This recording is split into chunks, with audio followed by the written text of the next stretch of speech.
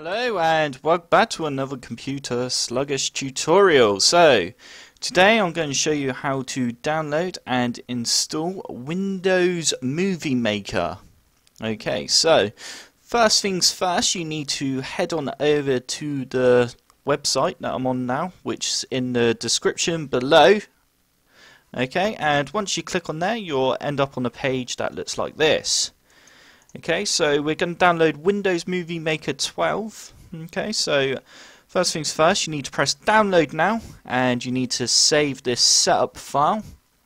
Okay, and once it's saved, we are now going to run that .exe.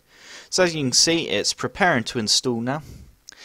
And now we want to go on to choose the programs you want to install.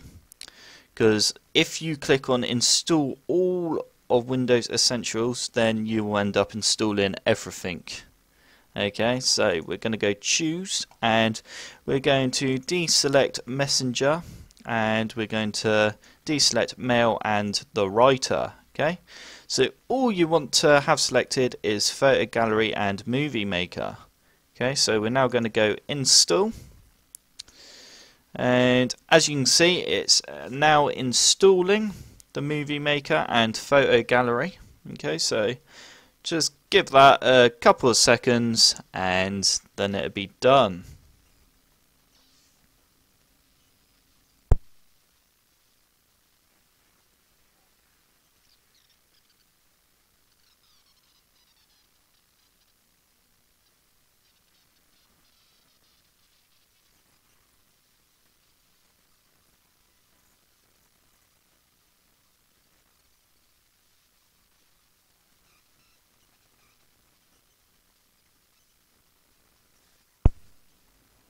Okay, so once that's installed, we can now click close.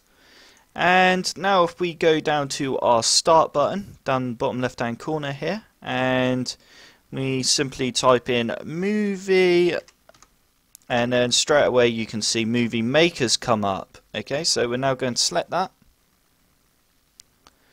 And we are going to accept the terms and conditions. And there you go. That is how you download and install Movie Maker 12 to Windows 10 and also this will work on Windows 7 and Windows 8. I hope this tutorial helped. Remember to hit that like button and subscribe for more tutorials.